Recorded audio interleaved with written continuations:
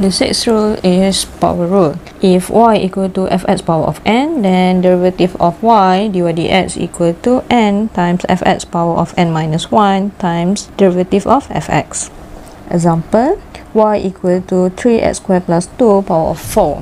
So differentiate y dy dx equal to fx is 3x squared plus 2 n is 4 so n 4 times fx 3x squared plus 2 n minus 1 is 3 and then derivative of fx is 6x simplify function 4 times 6 is 24 x and 3x squared plus 2 cube Second example, y equal to 2x power of 4 minus 9x plus 6 cube. So differentiate y, we have dy dx.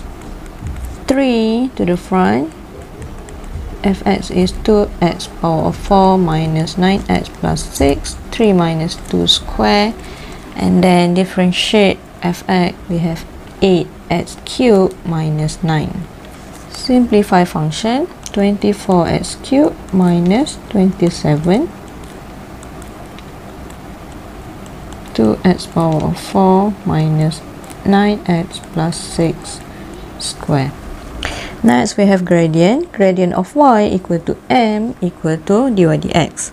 Example, find the gradient of the curve y equal to x squared plus 7x minus 2 at the point 2, 16. Gradient is dy dx. So we have y equal to x squared plus 7x minus 2. So differentiate y dy dx differentiate x square we have 2x 7x is 7 and differentiate negative 2 we have 0 so gradient is 2x plus 7 and then at point 2 16 dy dx equal to 2x is 2 plus 7 so 4 plus 7 is 11 Therefore, the gradient of the curve y equal to x squared plus 7x minus 2 at point 216 is 11. Second example, find the points on the curve y equal to x cubed minus 6x minus 10 where gradient is negative 3. So in this case, question given us the gradient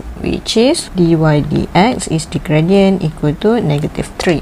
Differentiate y, we have dy dx equal to 3x squared minus 6 and we know that dy dx equal negative 3 so 3x squared minus 6 equal to negative 3 3x squared minus 3 equal to 0 x squared minus 1 equal to 0 x plus 1 x minus 1 equal to 0 so x equal negative 1 and 1 when x equal to negative 1 y equal to negative 1 cube minus 6 times negative 1 minus 10 equal to negative 5 and when x equal to 1 y equal to 1 cube minus 6 times 1 minus 10 equal to negative 15 therefore the points are negative 1 negative 5 and 1 negative 15 these are the exercises for this lesson. These are the answers for the exercises please submit the exercises at the end of lecture